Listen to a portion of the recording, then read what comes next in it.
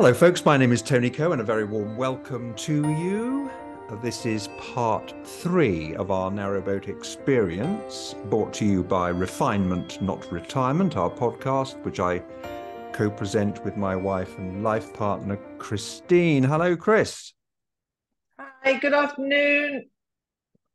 So, um, what we're going to talk well, we, we, where have we got to so far in our narrowboat experience story? Good We're question. Talking, yeah, it is a good question. I'm going to see if I can get set this up properly. We are continuing our story of our one year experience of buying and owning a canal boat called Tickety Boo on the beautiful English historic canal network. So, what does this have to do with retirement or refinement? Uh, you may well ask. Uh, we set this up by saying that not all refinements, mean, meaning improvements that you make or try to make to your life, are ten, turn out to be actual refinements. And this was one such a, example. Although I would say uh, that the decision to sell Tickety Boo did turn out to be a big refinement, which we'll come to, which we'll come to. So there's a bit of an irony going on there. So in the last episode, we talked about the process of buying Tickety Boo and that it wasn't all, shall we say, a bed of roses. What about uh, plain sailing? Yeah, or plain it's sailing. not really sailing, is it? But yeah, that's a bit closer to being on a boat. Uh, we talked about the kind of weird attitude that we got from the uh, brokerage that we bought the boat from, a very big, well-known uh, brokerage. Uh, they uh, took umbrage uh, at the fact that we wanted uh, some clarity on what the seller would or wouldn't do on the issues that arose from our expensive boat survey. Uh, but that all sort of turned out okay, except that we hadn't realized just how much umbrage they had taken until well into our story. Uh, we're not going there's a particularly um, we had a particularly poor experience, which we're not going to get into in this episode. In this episode, we we really want to talk about how we came to the decision, uh, having been so excited about uh, the purchase of Tickety Boo. We wanted to uh, share with you how we came to the decision to do a 180 degree turn and sell her. Uh, so you may remember from the last episode that we had uh, collected the boat. That wasn't in, in, entirely a pleasant experience either, due to the bro- brokerage. Uh, but we did have a fantastic time. I mean, this was really the best bits of our boat ownership. What What are your thoughts about that, Chris? What do you remember about that first voyage and how you were feeling at that time?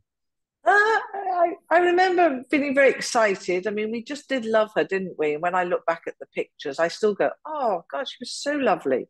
Mm. Um, and we'd stocked her out really well. I've got bought nice new bedding and matching, um, you know, quilt covers and sheets. And we'd bought lots of china and glasses. And I think the oven and the microwave had never been used before. So it was, you know, four, four um, gas hob ring, which was which was nice. It was a lovely little fitted kitchen, beautiful dining table to sit, as you said before. I think with the open windows that we could open and look at the swans and the ducks and on the animals going by and in the fields and and I think it was it was lovely. We were very excited because it was um, a, a, part of uh, you know we'd bought the house, we loved the house, and this was our next little venture of um, picking her up. And uh, you know it was we were free. Covid was um, we'd been released if you like from covid. So it was uh,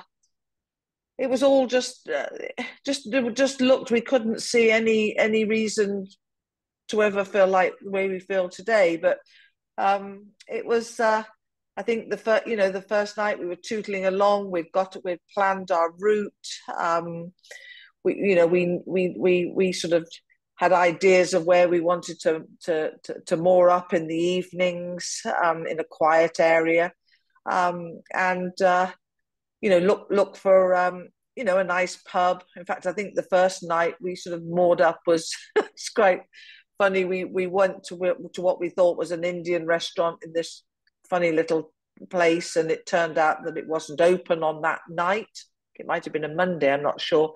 Anyway, we found some pub and uh, moored up and uh, uh, you know had a burger and think well, I thought well, this is nice. We walked back and then found the boat floating halfway yeah, across the canal. quite we hadn't moored, moored it properly. properly but anyway, we took it in our stride and uh, yeah, it, it was um, yeah, and we've got you know plenty of wine on board. Um, well, although sort of yeah, that yeah, that was the good bit. Um, but uh, we, we, had and, lovely. We two things. I mean, we had lovely weather.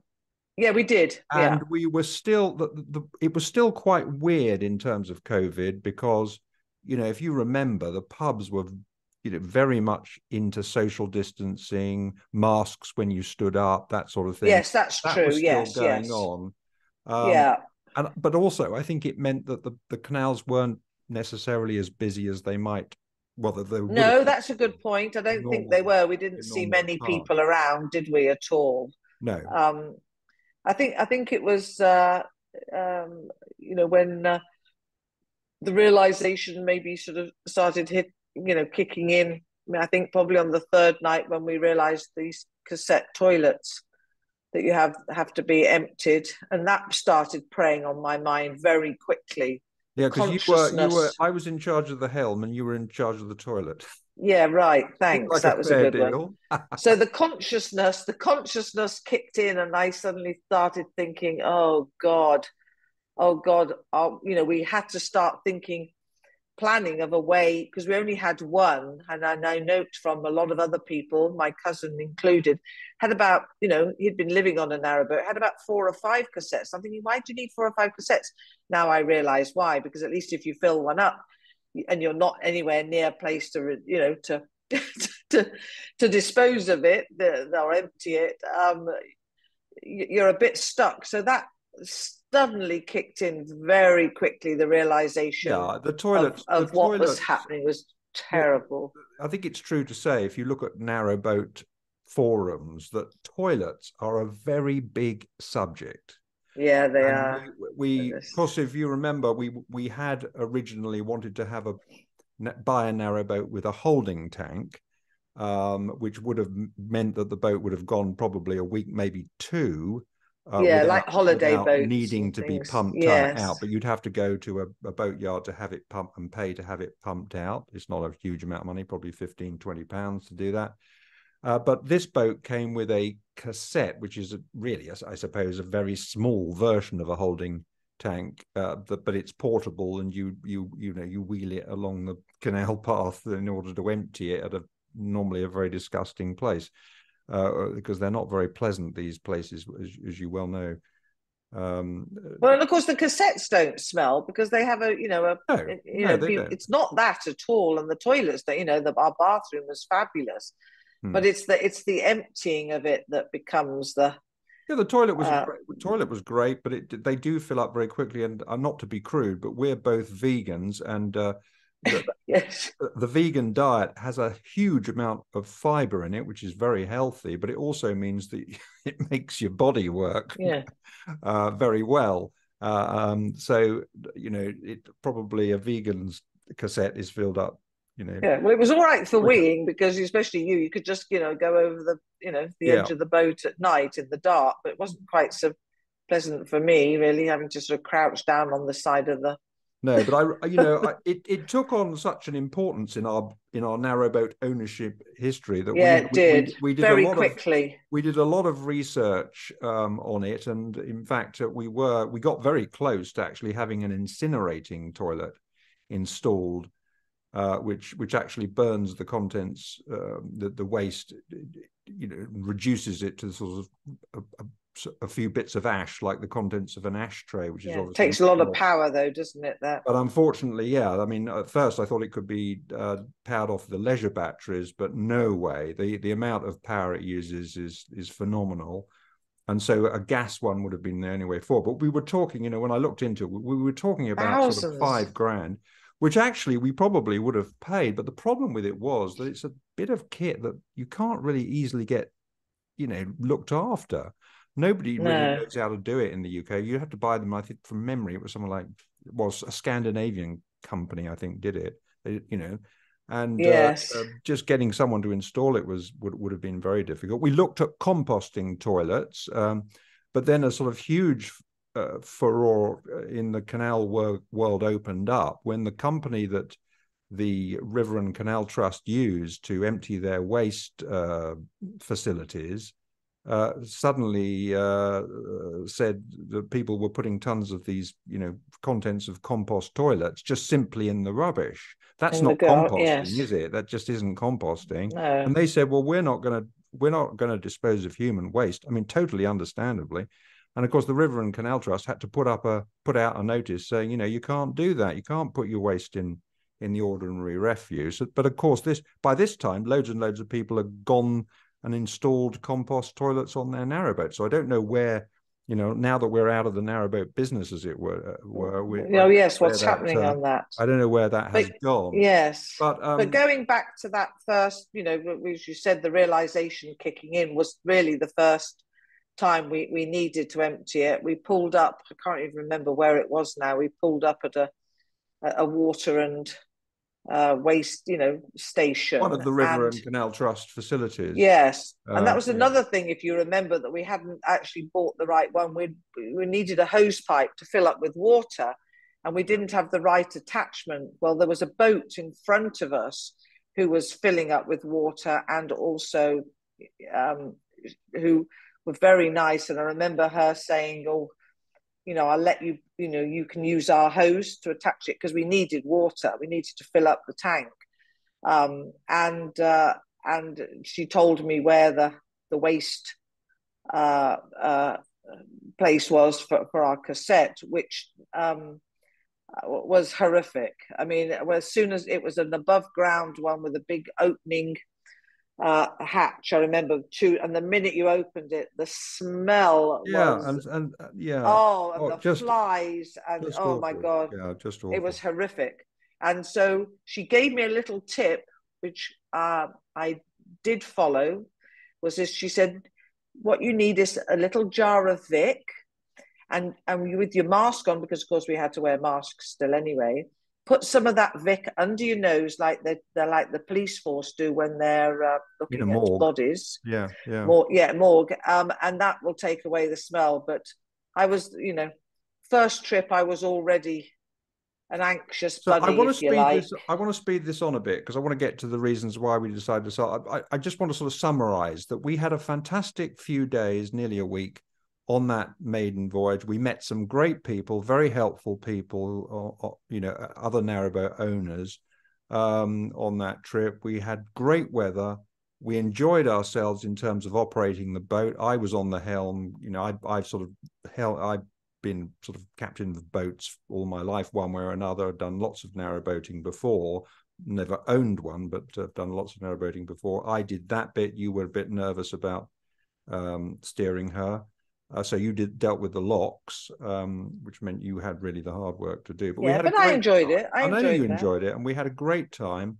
We ate on Tickety Boo quite a lot, and and what we, you know, one of the things that we did find uh, was that whereas we had visions from years past, decades past, of going to lovely pubs and uh, eating out every night, that wasn't really possible uh, you know, the, what we found was that there had been a huge deterioration in the pub facilities along canals. I mean, probably they've had a very tough time. Or, a lot of them closed. A lot of them closed. A lot of them were closed, and of course, yeah. being being vegan, we have a you know we're not you know the easiest customers necessarily for pubs. So uh, in those days, they weren't particularly catering to them. So we were beginning to we were beginning to find some negatives, even though we did love the boat. The boat, uh, the boat itself, herself, was fantastic. You know, we'll we'll be posting some pictures of of her on our Facebook site, uh, site uh, page for this uh, podcast when we get around to that. But you'll see her for yourself. But she she is a lovely, lovely, lovely craft. But the aspects of the canal See, I remember doing a piece to camera uh, very shortly after we started taking that trip, and I talked about how I had always loved the history of the canal system. And here I was now owning a narrowboat, and you know I was getting up early in the morning doing that walk um, before breakfast on board, and it was just lovely to because really a lot of the canal system is very much like it's been since the 1700s. Really, once yeah. you're away from the urban setting, it's still very much the same. And you know, I always thought about the the boat, the original boaters, and how they families lived on the narrowboats and and applied their trade that way. It was I just loved that history and still do, still do. But uh, when it came to actually spending days and nights and evenings uh, trying to find things to do in a steel tube moored up against very often a muddy, muddy narrowboat. Um, Pitch black, no, no, no street no, lighting, of course, in the middle shall of we say nowhere. The, yeah, shall we say the shine was where you know started to wear off. Even I think at that on that first trip, a little bit, a little did. bit. Even then, it was we were beginning to face up to the realities of life yes. on board. Um, and you know, well, we'll talk a little bit more about that. But uh, anyway, the other end of that trip, we arrived, and I think even even on that first trip, we were sort of quite quite speeding along to get to end this sort of discomfort of being on a narrowboat. Uh, and we, you know, we were so we arrived, I think, at our new marina um, earlier, perhaps a, a, day or so earlier than we had uh, intended, originally intended. But we, anyway, we had a great reception from that marina. They they gave us a bottle of prosecco. You you might remember. Um, yeah. And, oh, and we'd um, booked we'd booked an Indian restaurant in the yeah. little town. Yeah, we'd, the, gone, we'd gone for dinner, and we were so proud to tell them, weren't we, that we'd we'd be yeah. coming there often because they were, you know, because we now had a narrow boat and we were mooring it locally. A little village uh, with a little village Indian restaurant, very nice, very nice people and uh, we had a really wonderful meal there. You're quite right. Yeah, we had the yeah we had the champagne, and then we or the you know the bubblies, and then went out for dinner, and then because then we left the next day. yeah, we? we, stayed, we stayed on. We stayed on in the board. marina. I remember how weird it was driving a car after those days on the boat, and you know just to go to the Indian restaurant. We had a nice meal. Yes, uh, and that was all fantastic. Um, and then of course we we, we went home, uh, and but you know I'm going to fast forward now um, to the time when we actually made the decision. So we we, used the narrow we used Tickety Boo quite infrequently because you know we are fair weather narrowboaters and uh, we like we don't really like being on a narrowboat when it's pouring with rain. So we we wanted to choose our times of, of going on her uh, carefully. Um, uh, so we we we did a few day trips on her. I think we did uh, one other sort of few days trip on her. I can't remember when that was. Yeah, I think it was my birthday. I think for your birthday. So we did we did that, um, and you know, I, I, again, I think that we we were getting a bit more used to the discomforts. Not getting used to them. That's the wrong word. We we we were finding out more about the discomforting parts of of, of being on a narrowboat. I think even one as lovely as Tickety Boo. Yeah, but I didn't want to go for more than two or three days. Yeah, I remember. on the you, whole, we.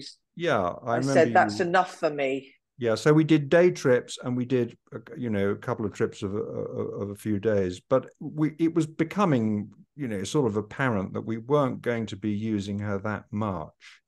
Can I just jump in as well? I know we haven't mentioned the kids, but of course, you know, yes, we we also talk, you know, our four daughters who had all been brought up on narrow boating holidays were all very keen to come and join us on her and uh, you know we talked about it a lot but with their busy lives um, the, the, we weren't ever to able to find time i don't think one of them ever saw her um, right. uh, sadly but it was just that not because they didn't want to but because just the way life sort of panned out and their busyness and our busyness and having got the new house um, th- that never happened. And that started to weigh heavily on us because we thought well when we can go out on the boat we want to be seeing the kids. And then yeah so that that's how that evolved as well. Yes. So uh, we we of course uh, we, wanted to keep Tickety Boo very, very well and keep her very well maintained. So we had booked her into a boatyard to have her blacked um, uh, her hull blacked and have various other things. We renewed her leisure. Well, we renewed all her batteries um, on board, and that we I'm not going to talk about that particular experience in this episode, as I said, because we had a very, very bad experience with the boatyard, uh, which we will tell you about uh, in the in the fourth and final um, part of uh, our narrowboat experience. But I'm going to fast forward here to the 29th of May in 21, which was after the boat had had had, had been blacked and we'd had a new cover made for her, tailor made for her um, she was she was in great condition um, uh, when we went back to see her for our for our for our what turned out to be our final really our final trip on her final proper trip on her um, and you were absolutely shocked because we went for my my birthday and we went to the yes. Ashby Canal. We, we we decided to go on the Ashby Canal, which is actually a lockless canal. We had a you know quite a journey to get there, but the actual Ashby Canal is is one that is talked about a lot as being a very attractive rural canal with no locks. Um, but we came to the I I sort of turned to you one evening, I think it was and said, I think, you know, I'm thinking that we should sell Tickety Boo. And I think you were, I mean, I think you're, you're, you, you're, you had, you didn't see that coming at all, did you? I didn't. I, I was completely shocked because, I mean, I knew you loved her and I knew, you know, and, and you know, it was your passion. And uh, can you remember my reaction? Uh, no, you'll have to remind me. My reaction was, I think was probably shocked you even more than my your telling me was okay then.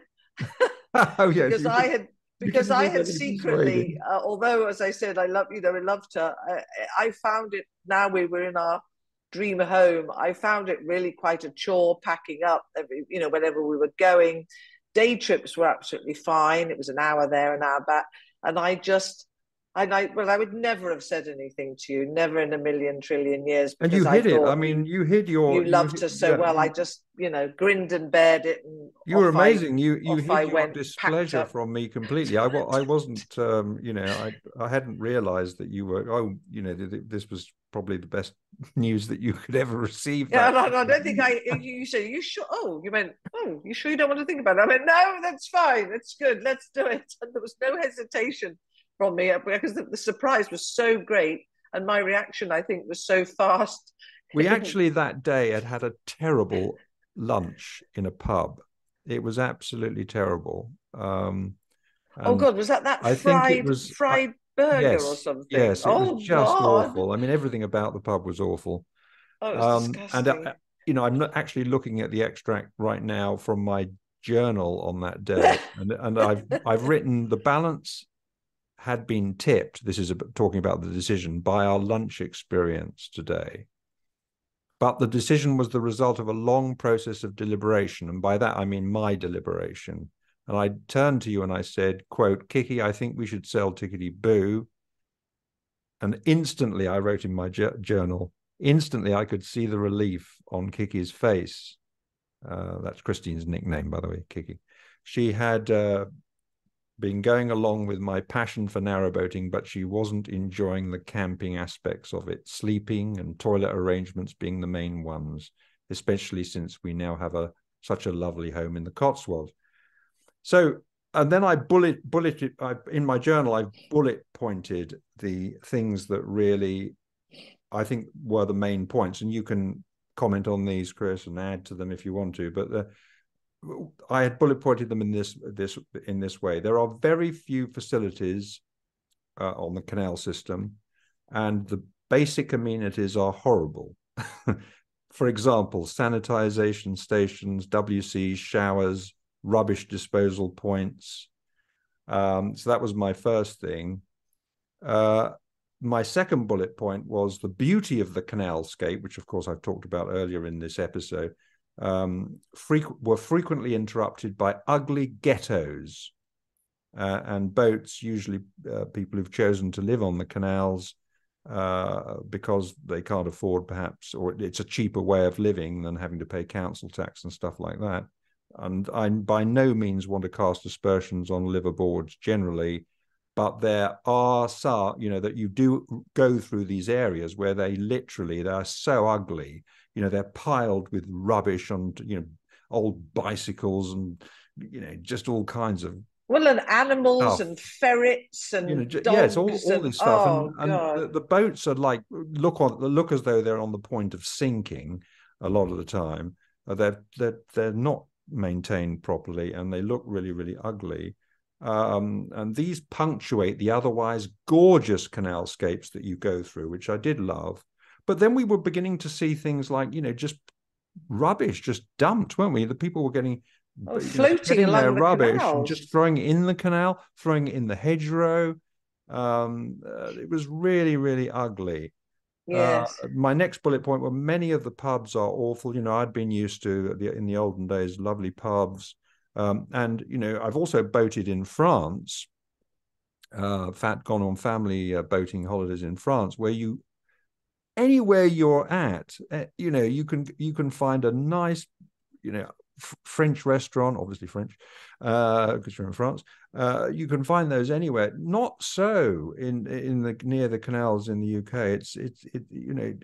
I'm not saying there are no nice restaurants. There are, but you know, it's not as though you can get in a car because you're going at four miles an hour. No, sometimes you have to walk a long way, don't you? So you know, there's that aspect of it. Another thing, muddy towpaths. You know, really muddy towpaths. So you, you've got often often strewn with dog poo uh, and then you're getting back on your boat and you know you're home for a few days or a week or so and Filthy, you know you're, yeah. you're walking into the boat that's that's a horrible thing um and you know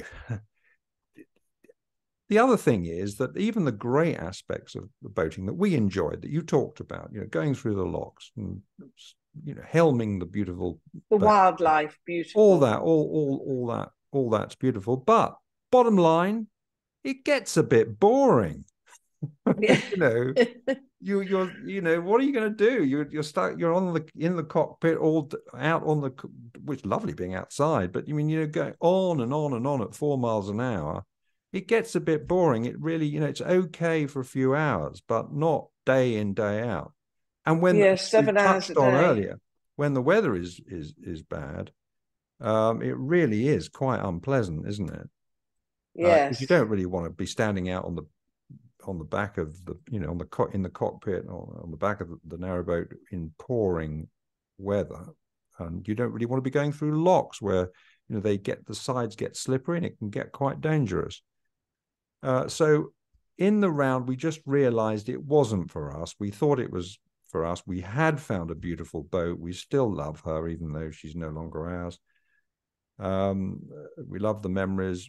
You know, we'll share the photographs with you. But uh, in the round, it was this was definitely the right decision for us. Don't you think, Chris? Yeah, absolutely, one hundred percent. Got anything to add to any of those points? No, I don't think so. No, I, I think you've. Um... We had a lovely sitting area on the boat, didn't we? With those two sort of um, faux leather chairs that that face the uh, yes uh, it was lovely the, and we've got some lovely stove. pictures of you sitting there with your captain's hat on oh. but you said the but it can't. you know i think yeah but I, I tell you another thing that because we were having to to go anywhere we had to get up in the morning and get going really quickly you know to get seven eight hours of day you know in during the daylight because you couldn't travel at night. And so it would mean not getting one's ablutions done cleaning the teeth you know having a shower. Um, and then you know it was it, it, you know you'd have to plan it when you stopped. And, and, like if you suddenly needed to go for a you know for a wee um, it was I, I was scared to helm the boat. So i was sort of like well hurry up quickly go or you know you could go so slow you could jump off and have a quick wee and get back on. But even you know it was you couldn't you had to pace yourself in a way that it was you know for you non-stop seven seven or eight hours at the helm to get anywhere. If you think about it in four miles an hour um yeah. It, it, you, you couldn't get anywhere really so if you we'd have a point didn't we we'd have it said we could say how many days we wanted to be out when we wanted to be back um, how you know how many locks to go through it calculated it and it tells you where you turn around Um, but to to keep that pace up, that was quite a struggle. Even that. Sure. sure. But um, of course, we have deliberately avoided uh, the very ugly experience that we had, which we'll be sharing with you, dear listener, next time. And so a lot of these things that we've mentioned might seem, you know, sort of a little bit um, uh, insignificant to a lot of people, and I understand that. Perhaps we are a bit precious in, in wanting chocolates on our pillows in the evening and that sort of thing. But uh, that, that we did have a very very bad experience, and we will, as I say, share that with you, and perhaps you you'll you know, that definitely factored into our uh, decision to sell her. Uh, so there it is. We're running out of time, and uh, those are our, those are our reasons. Uh, we would we would, uh, as always, love to hear your thoughts on any of this. Um, if this will help, I hope, people who are thinking about possibly uh, buying a narrowboat. They have become very popular. Uh, uh, and a lot of people I know have been considering it. We've met people locally in the Cotswolds who have um, purchased a narrowboat in the same way that we did at, at the same time as moving out of a city. Um, uh, but if you are in, having that contemplation, hopefully some of the things that we've mentioned will make you uh, perhaps have pause for thought. Uh, but you may you may have had a completely different experience. You may absolutely love it. I know a lot of people do. Uh, and uh, you know we're all different, and uh, we would love to hear those opinions as well.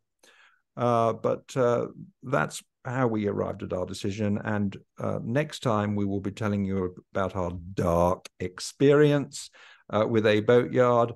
Um, and uh, you know, you'll, I think, understand why it left a very, very sour taste in our mouths. Uh, but we hope to see you next time in part four of the narrowboat experience. And after that, we will be getting on to a lot of other subjects as we continue uh, with our podcast podcast on refinement, not retirement. But for now, it's goodbye from me. And it's goodbye from me. Bye, everyone. See you next Bye, time. Everybody.